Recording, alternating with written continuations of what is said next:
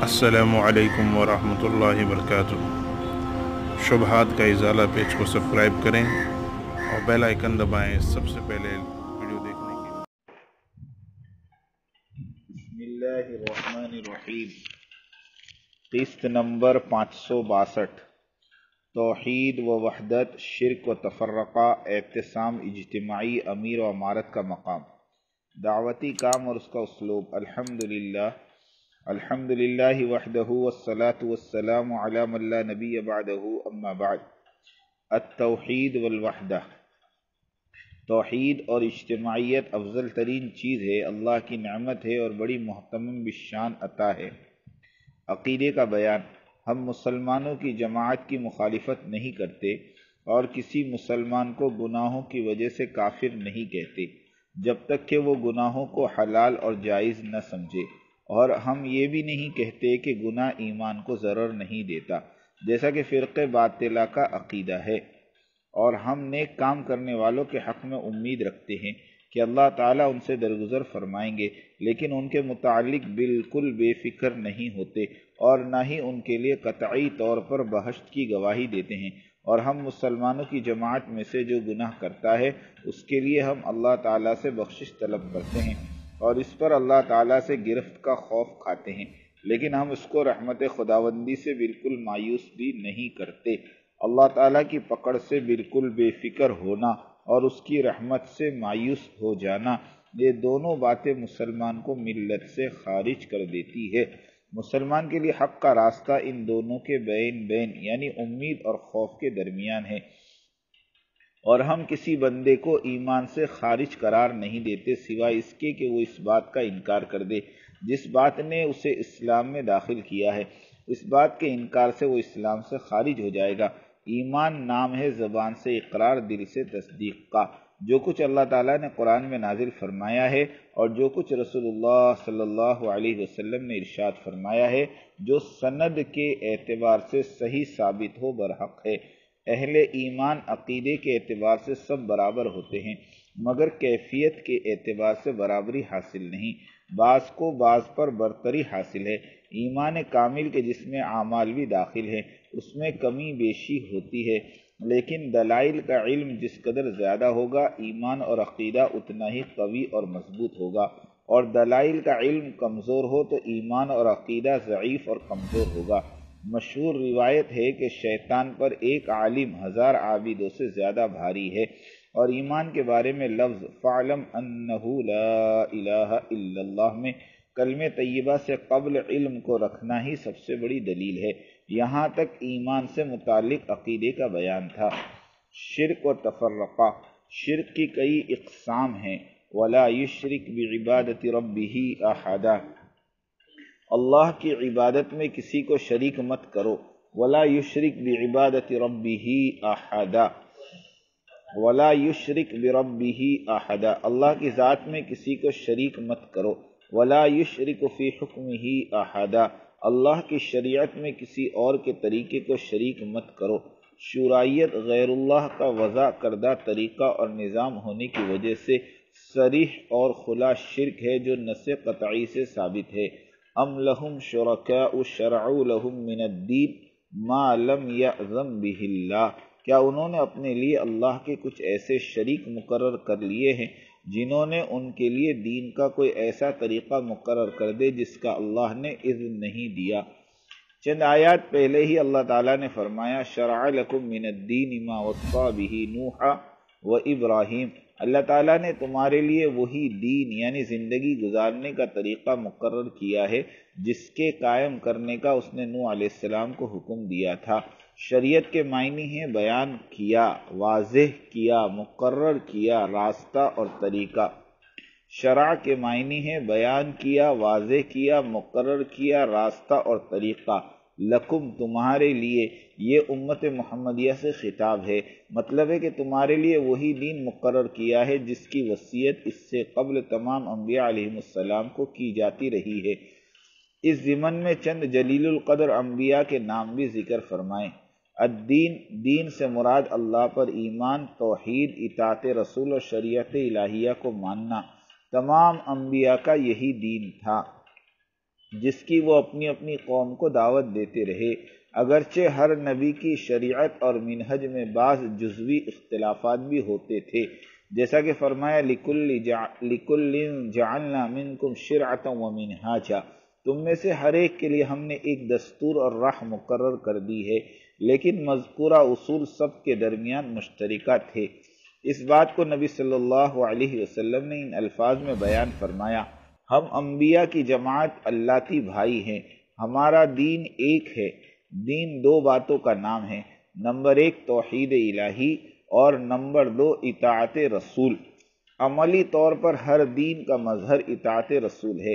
اطاعت رسول سے گریز کرنا یا اس اطاعت میں دوسرے کو شریک کرنا افتراق، انتشار انگیزی ہے، جس سے بچنے کے لیے ولا تفرقو فی، فرمایا۔ یعنی پھوٹ مت ڈالو کہہ کر منع فرمایا گیا۔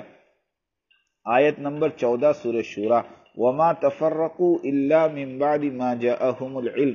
ان لوگوں نے اپنے پاس علم آ جانے کے بعد ہی اختلاف کیا اور وہ بھی باہمی ضد و بحث سے۔ اعتراض، تبلیغی کام میں مسائل کیوں نہیں بیان کیے جاتے؟ جواب، دعوتی محنت میں فضائل بیان کیے جاتے ہیں، مسائل نہیں، ایسا کیوں؟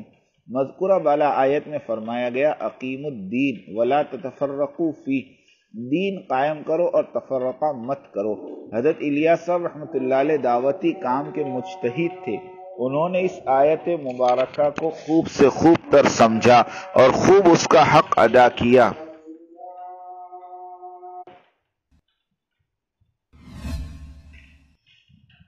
عقیم الدین پر عمل کرتے ہوئے عمومی دعوت و تبلیغ نہج صحابہ کرام پر شروع فرمائی اور ہجرت اور نصرت والی شکل دے کر قربانی اور اطاعت والی راہ سے امت محمدیہ میں دین کو زندہ کیا اور اس سواد اعظم والے دعوتی محنت کرنے والی امت کو صرف فضائل پر ڈال کر افتراق یعنی اختلاف سے محفوظ فرما لیا۔ یعنی دعوتی محنت سے دین قائم کیا اور فضائل کے ذریعے دائیوں کو اختلافات میں پڑھنے سے بچا لیا۔ خلاصہ کلام، شریعت متحرہ کو چھوڑ کر کسی اور کے بنائے ہوئے منشور اور دستور کو اپنانا عین شرک ہے۔ عالمی شورا والوں نے سیرت طیبہ کے خلاف کمیونسٹ والے دستور اور منشور کو اپنایا، جو عین شرک ہے، جنہوں جسے ہم نے گزشتہ قسط نمبر تین سو ستانوے میں تفصیل بیان کیا۔ دارالعلوم دیوبند سے التجا۔ ہم پھر سے دہراتے ہیں کہ مفتیان دارالعلوم دیوبند فلفور فتویٰ جاری فرمائے کہ شرائط کی شرعی حیثیت کیا ہے۔ دوسری بات یہ کہ دارالعلوم ہمیشہ اس بات کو دہراتا آیا ہے کہ امارت اور شرائط کے قضیے میں وہ غیر جانبدار ہے۔ مگر دوسری طرف شرائط کا یہ زعم ہے کہ دارالعلوم دیوبند شرائط کا حمایتی ہے۔ دارالعلوم اپنے لیٹر پیڈ پر اعلامیہ جاری کرے اگر واقعتاً غیر جانبدار ہے تو پھر شرائط کے دعوے کا انکار کرے۔ تعجب خیز بات ہے کہ مولانا سعد صاحب کی ہر بات پر گرفت ہوتی ہے اور فتویٰ بھی جاری ہو جاتا ہے۔ اور دوسری طرف شرائط والے اعلانیہ طور پر اسلام دشمن لینن اور اسٹیلن والے کمیونسٹ نظام کے منشور اور نام دا ورلڈ کاؤنسل، جس کا ترجمہ عالمی شورا ہے، اسے مسلمانوں میں متعارف کرا رہے ہیں، مگر دارالعلوم نے چپی اختیار کی ہوئی ہے۔ نہ تو دارالعلوم کی طرف سے اس کا رد ہی کیا جاتا ہے اور نہ ہی کوئی گرفت اور نہ ہی کوئی فتویٰ۔ ایسا لگتا ہے کہ مفتی ابوالقاسم اور مفتی مصعب ابن پروفیسر عبد المنان اور مفتی زید صاحب اور مولانا ارشد مدنی صاحب اور مفتی سعید صاحب پالن پوری عالمی شورا کے نام اور اس کے منشور کو شرعی لائن سے صحتیاب اور جائز قرار دینے کی تحقیقی اور تعویلی گٹھ جوڑ میں مصروف ہیں۔ اس لیے کہ مولانا سعد صاحب کی زبان سے نکلے ہوئے الفاظ پر چند گھنٹوں کے اندر دارالعلوم کا موقف اور فتویٰ عوام میں پھیل جاتا ہے، مگر عالمی شورا کی شرعی حیثیت پر تین سال گزر گئے لیکن فتویٰ ندارت۔ ہم ارباب دارالعلوم کی حسن نیت کو غیر جانبداری کو تین سال سے جانچ رہے ہیں کہ کب شرائط کے بارے میں موقف اور فتوے کا صدور ہو۔ بلاخر مایوس ہو کر دوبارہ استدعا کرنا پڑ رہا ہے کہ خدارہ شرائط پر فتویٰ صادر فرما کر مسلمانوں کے شبہات کا ازالہ فرمائیں۔ احتسام حق، قرآن مجید میں ایک لفظ ہے احتسام اس کا معنی ہے گٹھ جوڑ۔ اتفاق، یکجہتی، یونیٹی اور اس کی ضد ہے تفرقہ، پھوٹ، دراڑ، اختلافات، فرقہ بندی وغیرہ اور یہ عین حکم الہی ہے کہ کسی طرح مسلمان آپس میں نہ بھیڑے اور نہ ہی لڑے اور نہ ہی آپس میں تفرقہ بازی اور پھوٹ ڈالے۔ ارشاد باری ہے وا تسیم بحبل اللہ جمیع ولا تفرقو اللہ تعالیٰ کی رسی کو سب مل کر مضبوط تھام لو اور پھوٹ مت ڈالو، ولا تفرقو اور پھوٹ مت ڈالو۔ اس سے پہلے کی آیت میں تقوی اختیار کرنے کو فرمایا، اے ایمان والو، اللہ تعالیٰ سے اتنا ڈرو جتنا اس سے ڈرنا چاہیے۔ اور دیکھو، مرتے دم تک مسلمان ہی رہنا۔ اس امت مسلمہ کی نجات اور اس کی سرخروئی کے لیے صرف دو ہی چیزیں ہیں۔ ایک ہے توحید، دوسرا اتحاد یعنی آپسی اتفاق۔ تقوی اسی عقیدے اور عمل کا نام ہے جسے حضور صلی اللہ علیہ وسلم نے صحیح حدیث میں فرمایا ما انا علیہ و اصحابی جس راستے پر میں اور میرے صحابہ ہے، اس راستے کو اپنانا، اسی پر چلنا یہی سیدھا راستہ ہے۔ تقوی حاصل کرنے کے لیے ہر بات اور ہر عمل میں یہ دیکھنا ہوگا کہ حضور صلی اللہ علیہ وسلم اور صحابہ کا عمل اور عقیدہ کس طرح کا تھا۔ حضور اور صحابہ والے عقائد اور عمل قرآن، مجید اور احادیث صحیحہ میں موجود ہے۔ اور ہم لوگوں نے جو تقوی کا معیار خود سے گھڑ لیا ہے، اسے یکلخت چھوڑنا ہوگا۔ یعنی ان سارے عقائد اور افکار اور نہج عبادت اور نہج دعوت سے نکلنا ہوگا، جن کی دلیل قرآن اور حدیث اور سیرت طیبہ سے نہ ملتی ہو۔ ما انا علیہ و اصحابی والی جماعت میں شامل کے لیے سارے عقائد اور افکار باطلہ کا انکار کرنا ہوگا۔ اور وہ صحیح عقیدہ اپنانا ہوگا جو حضور صلی اللہ علیہ وسلم سے اور صحابہ کرام سے ثابت ہو۔ آج جس قدر اعمال صالحہ پر عمل ہو رہا ہے، اگر اس کے ساتھ ساتھ عقیدہ درست کر لے تو دنیا جنت بن جائے۔ مگر شیطان مرا نہیں، کم وقت زندہ ہے۔ اس نے دین کی روح پر یعنی عقیدے پر وار کیا اور عقائد کو خراب کر کے مسلمانوں کے اعمال کو بے قیمت بنا دیا۔ اس لیے کہ شرک عمل کو ضائع کر دیتا ہے۔ توحید میں وحدت ہے اور شرک میں پھوٹ۔ دوسرا حکم جو اوپر بیان ہوا کہ آپس میں یکجہتی پیدا کرو، تفرقہ مت پیدا کرو، تو شرک نے اتحاد اور اتفاق کا دروازہ پہلے ہی سے بند کیا ہوا ہے۔ توحید اور سنت میں کوئی اختلاف نہیں، شہری ہو یا دیہاتی، ایشیا کا ہو یا یورپ کا۔ افریقہ کا رہنے والا سب کے سب توحید و سنت میں متحد ملیں گے۔ شرک اور بدعات میں سب مختلف، ہر قوم کا طرز عمل مختلف۔ کہیں کسی قسم کا شرک تو کہیں کسی دوسرے قسم کا۔ حضرت الیاسب نور اللہ مرکدہ ایک عام انسان ہی تو تھے۔ ایک ہے ترتیب الیاسی اور دوسری طرف ما انا علیہ و اصحابی یعنی سیرت طیبہ۔ جب دونوں میں سے ایک چیز کا انتخاب کرنا ہو تو بغیر کسی تردد اور جھجک کے ما انا علیہ و اصحابی والے طرز و ترتیب کو اپنانا ہوگا۔ یہ بات یقیناً جان لو کہ حضرت الیاس رحمۃ اللہ علیہ نبی ہرگز نہیں تھے۔ ان کی ترتیب دعوت ما انا علیہ و اصحابی کے سو فیصد موافق تھی، مگر ان کے اپنے وقت کے حساب سے اب موجودہ وقت کے اعتبار سے الیاسی ترتیب میں وسعت کی ضرورت ہے اور چونکہ موجودہ امیر حضرت جی رابع مولانا سعد صاحب ہیں تو ان پر جو بات بھی منشر ہوگی، بشرط یہ کہ وہ بات خلاف شرع نہ ہو تو بحیثیت امیر ان کی اس بات پر عمل کرنا دعوتی احباب پر واجب ہے۔ مولانا ابراہیم صاحب دیولہ دامت و برکات ہوں یا مولانا نظر الرحمان صاحب ہو یا کوئی اور اس وقت اگر یہ بزرگ مرکز نظام الدین کو مرکز اور مولانا سعد صاحب کی عمارت کو دل سے قبول نہیں کریں گے، تو ان کا دعوتی کام اور قربانی صحیح حدیث کی روح سے ذرے برابر بھی فائدہ نہیں دیں گے اور افتراق امت کا گناہ ان کے سر ہوگا۔ سب کی بزرگی پر فرمان نبی صلی اللہ علیہ وسلم مقدم ہے اور سب کی بزرگی مل کر بھی حدیث نبوی کا مطلب اور معنی ہرگز نہیں بدل سکتے، چاہے کتنی ہی تعویلات گھڑ لی جائے۔ اسی لیے امیر کے بارے میں لفظ عبد وحشی اس بات کا غمازی کرتا ہے کہ کسی بھی حیثیت کا امیر ہو، اس کی اتباع کے بغیر چارہ نہیں۔ کم عمر ہو کہ بوڑھا، ان پڑھ ہو کہ علامہ، تربیت یافتہ ہو کہ نہ ہو۔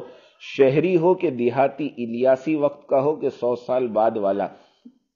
امیر ہے امیر، اس کی مانی جائے گی۔ رہے وہ علماء اکرام جو دعوتی کام میں نہیں لگے اور نہ ہی وہ حضرت جی کو اپنا امیر مانتے ہیں۔ اگر وہ اعتراض اور تنقید کر لے تو یہ ان کا اپنا معاملہ ہے۔ ہمیں ان کی باتوں سے کوئی سروکار نہیں اور نہ ہی حضرت جی کی عمارت ان پر لاگو ہوگی۔ لیکن بحیثیت تبلیغی ہم سب کے سب معمورین ہیں، چاہے وہ رائے والے ہوں کہ ککرائل والے، حجاز والے ہوں کہ امریکہ، یورپ، افریقہ اور ایشیا والے۔ بحیثیت تبلیغی ہم پر صرف اور صرف ایک امیر حضرت جی رابع مولانا محمد سعد صاحب دامت و برکاتہم کی اطاعت لازم ہے اور انہی کا اتباع کیا جائے گا اور انہی کی بات لیں گے، انہی کی باتوں کا تذکرہ ہوگا۔ ان کے علاوہ کسی اور کو ان جیسا مقام اور اہمیت دینا تو دور کی بات، اس کا تصور کرنا بھی استخفاف امارت اور امیر ہے، جو پیش خیمہ ہے امیر اور امارت سے بغاوت کا۔ کسی کی کہی ہوئی باتوں پر توجہ نہ نہیں دیں گے۔ چاہے وہ فتویٰ ہو یا نصیحت ہو یا بیان ہو کہ ہدایت، بقول حضرت مفتی نیوال الرحمن صاحب دامت برکاتہم، فتویٰ دیکھ کر ہم تبلیغ میں نہیں لگے، اسی طرح کسی ایرے غیرے کے فتوے سے ہم کام کبھی نہیں چھوڑیں گے۔ دعوتی امور میں مرکزیت ریڑھ کی ہڈی کی مانند ہے، اس ادراک اور شعور کے بغیر نہ تو تبلیغ ہی سمجھ میں آئے گی اور نہ ہی تبلیغی بصیرت نصیب ہوگی۔ سابقہ عمرہ کا حکم، وقت کے امیر کے ہوتے ہوئے سابقہ امیروں کی بھی انہی باتوں کو لیں گے جو متواتر چلی آ رہی ہوں اور شریعت کے خلاف نہ ہو۔ لیکن موجودہ امیر کی بات ہر حال میں ماننی لازمی ہے۔ حدیث شریف میں اشارہ ملتا ہے، فرمایا رسول اللہ صلی اللہ علیہ وسلم نے کہ اگر موسیٰ علیہ السلام بھی دنیا میں تشریف لائے تو انہیں بھی میری ہی اتباع کرنی ہوگی۔ یعنی جس طرح سارے نبیوں پر ایمان رکھیں گے، لیکن اتباع رسول اللہ صلی اللہ علیہ وسلم کی کریں گے۔ اسی طرح حضرت الیاس، حضرت یوسف اور حضرت انعام الحسن صاحب کی قدر و عظمت سے ہمارا دل تو معمور ہو، مگر اطاعت صرف اور صرف موجودہ امیر حضرت جی رابع مولانا محمد سعد صاحب ہی کی کریں گے۔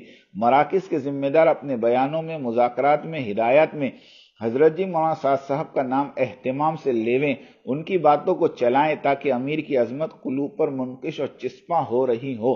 دوسروں کی باتوں کو نظر انداز بھی کر دیں تو شران کوئی مذائقہ نہیں۔ اس طرح کے اہتمام سے خواص اور عوام کے قلوب اجتماعیت کے ساتھ اپنے امیر کی طرف مائل ہوں گے۔